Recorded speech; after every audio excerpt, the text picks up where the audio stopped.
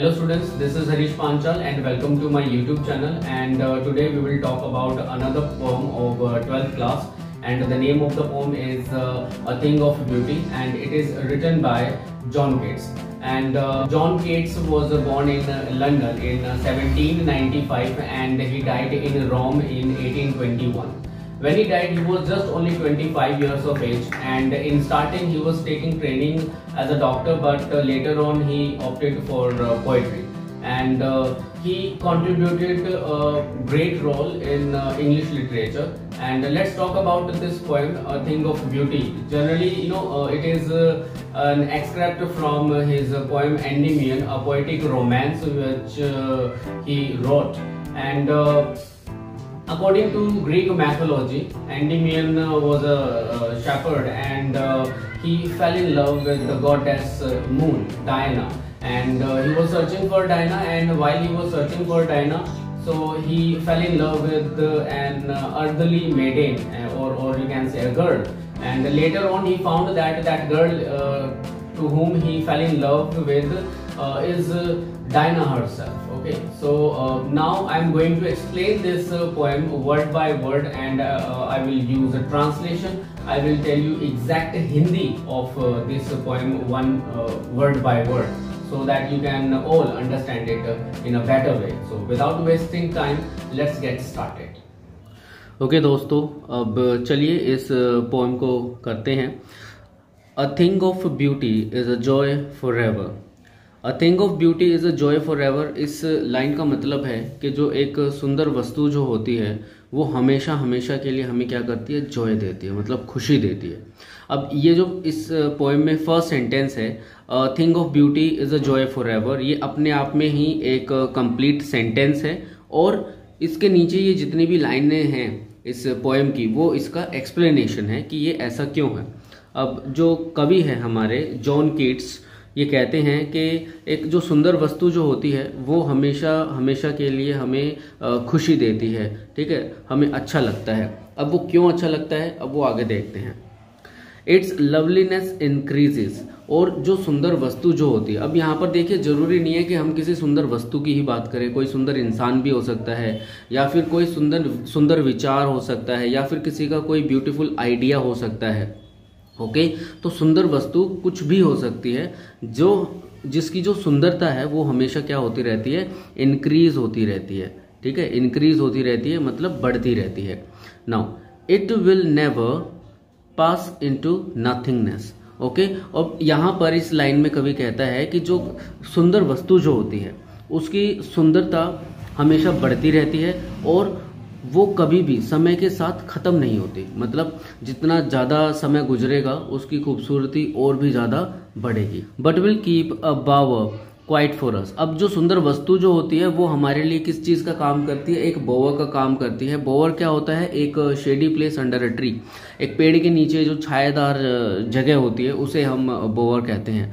अब जो एक सुंदर वस्तु होती है, वो हमें क्या करती है? एक सुंदर नींद देती है और हमें सुंदर सपने दिखाती है। इससे हमारी जो हेल्थ है, वो ठीक रहती है और हम बिल्कुल जीवित रहते हैं। बिल्कुल पॉजिटिव रहते हैं, ठीक है? तो खूबसूरत वस्तु जो होती है, ठीक है, वो हमें हमेशा जीवित रखती है, हमेशा आगे बढ़ने की प्रेरणा देती है, और जिसकी वजह से हम पॉजिटिव रहते हैं और हमेशा खुश रहते हैं, ठीक है? तो यहाँ तक क्लियर हो चुका होगा, आगे बढ़ते हैं। देयर फोर इसीलिए on every morrow every morrow का मतलब होता है हर दिन, ठीक है? Every next day we are wreathing a flowery band to bind us to create to the to the earth. अब wreathing का मतलब होता है सराउंडिंग ठीक है? अब आ, हर सुबह जो एक खूबसूरत विचार है या फिर खूबसूरत जो वस्तु है वो हमें क्या करती है? वो हमें इस अर्दली मटीरियलिस्टिक वर्ल्ड से बांधे रखती है ठीक है? हमें बांधे रखती है ताकि हम अपने जीवन को जीते रहें हम अपने जीवन में आगे बढ़े। स्पाइट ऑफ़ डिस्पोंडेंस डिस्पोंडेंस का मतलब होता है निराशा distress sorrow of the inhuman dearth inhuman dearth का मतलब होता है लैक ऑफ़ समथिंग किसी चीज़ की कमी होना. अब देखो स्पाइट ऑफ़ डिस्पोंडेंस निराशा के बावजूद भी of the inhuman dearth of noble natures अब जो इंसान हैं, उनके अंदर नोबल नेचर की कमी होती है. ऑफ़ द ग्लूमी डेज़ और हमारे दिन रात बिल्कुल उदासी से भरे हुए होते हैं। All the unhealthy and over darkened ways और हमारा जो जीवन होता है अनहेल्दी है, और भी इसमें दूसरे बहुत सारे कुछ कारण है जो हमें हमेशा परेशान करते हैं डिस्टर्ब करते हैं।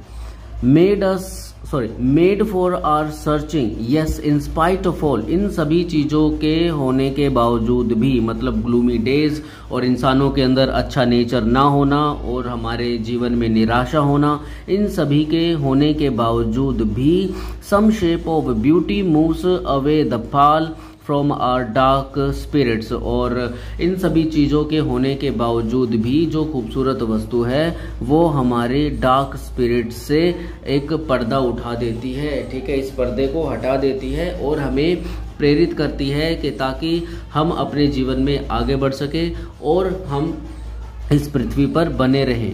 आगे चलते हैं। अब आगे की लाइंस में जो जॉन कीट्स है, वो ये कहने की कोशिश कर रहा है कि हमारी पृथ्वी पर कौन कौन सी सुंदर वस्तुएँ हैं। अब जैसे, such the sun the moon trees old and young sprouting a shady boon अब बून का मतलब होता है वरदान, ठीक है? और स्प्राउटिंग का मतलब होता है टू टू प्रोड्यूस अब ये जो सुंदर वस्तुएँ हैं, जिनका उदाहरण कवि ने ऊपर दे रखा है, जैसे सूरज है, चाँद है, और बड़े विशाल छोटे पौधे हैं, ये सब क्या करते हैं? ये हमारे लिए एक वरदान की तरह है।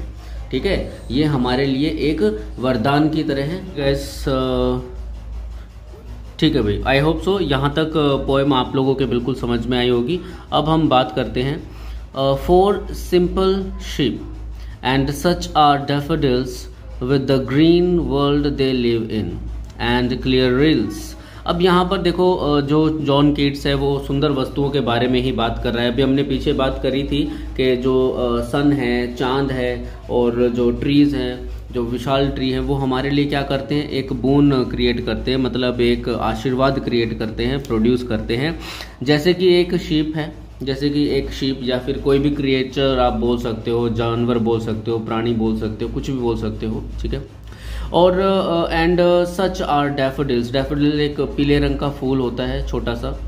With the green world they live in और जिस हरे uh, संसार में वे रहते हैं मतलब जिस जंगल में या फिर बगीचे में वो लोग रहते हैं ये uh, चीज़ें होती हैं. एंड क्लियर रील्स और ठंडे पानी के स्रोत मतलब रील जो होती है वो होती है एक स्मॉल स्ट्रीम uh, एक छोटी नदी। अब ये सारी चीज़ें क्या देती हैं हमें? ये सारी चीज़ें हमें uh, खुशी देती हैं। इन सभी चीज़ों से हमें अच्छा लगता है। That for themselves cooling covert make और इससे हमारे लिए क्या मिलता है, हमें क्या मिलता है? एक कूलिंग कोवर्ट मिलता है, ठीक है? एक कूलिंग कोवर्ट का मतलब एक ऐसा ऐसा प्लेस जहाँ पर आप ठहर सकते हो, ठीक है? ठंडी जगह okay against the hot season the mid forest brake अब आप इसमें ये देखो कि जून जुलाई की जो गर्मी है, ठीक है, और जून जुलाई की गर्मी में एक ऐसी जगह मिल जाए आपको, एक ऐसे बगीचे में, या फिर जंगल में, या फिर वुड में, जहाँ पर पेड़ हो, ओके, और एक ठंडे पानी का स्रोत बह रहा हो, और बहुत अच्छी छाया हो, और वहीं पर, उसी जगह पर rich with the sprinkling of fair musk rose blooms और उसी जगह पर कस्तूरी गुलाब खिले हों, बहुत अच्छी अच्छी खुशबू आ रही है वहाँ पे। तो वहाँ पर क्या कर, होगा? वहाँ पर आपका मन लगेगा ओके? और ये जो इसकी सुंदरता है इस चीज़ की जो सुंदरता है वो कभी भी ख़त्म नहीं होगी ठीक है? And such too is the grand of the dooms we have imagined for the mighty dead अब ये दो दो दो लाइनें जो हैं अब इनका मीनिंग क्या है? देखो ग्रैंडर का मतलब होता है विशाल। Being very large and uh, dooms is known as a death or a destruction or a mighty death we are talking about our enormous uh, warriors so in line में क्या है जो हमारे enormous warriors हैं जिन्होंने अपने देश के लिए या फिर एक मानवता के लिए जान दी अपनी, ठीक है? और हम क्या करते हैं? हम उनकी कहानियों को सुनते हैं।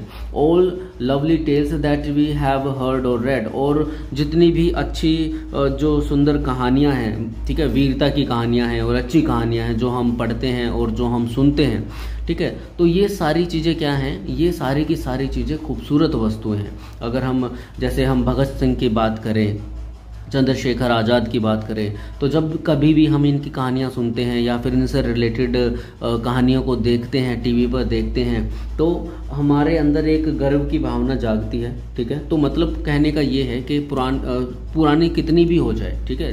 जो एक सुंदर वस्तु है, वो कितनी भी पुरानी हो जाए लेकिन जब कभी भी हम उसे देखते हैं, उसे महसूस करते हैं, उसकी जो, उसका जो प्यारापन है, वो कभी भी मरता नहीं है, वो हमेशा हमारे सामने रहता है। और ये जितनी भी खूबसूरत वस्तुएँ हैं, जो लेखक ने हमारे सामने डिस्कस की हैं, ठीक है, कि the sun the moon trees old and young, daffodils and cooling covert, clear rills, rose blooms and mighty dead, uh, their stories. ये सारी की सारी चीज़ें क्या हैं? ये सारी की सारी चीज़ें हमारे लिए इमोटल ब्रिंक की तरह है। इमोटल ब्रिंक का मतलब इमोटल का मतलब होता है जो कभी ना मर सके ठीक है? एक नेक्टर एक अमृत की तरह है। An endless fountain and endless fountain एक ऐसा झरना हमारे ऊपर बह रहा है अमृत का जो कभी भी ख़त्म नहीं होगा।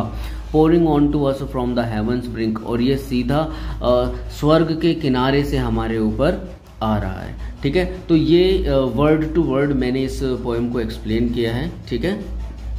Okay students, so now I have explained this poem word by word in Hindi.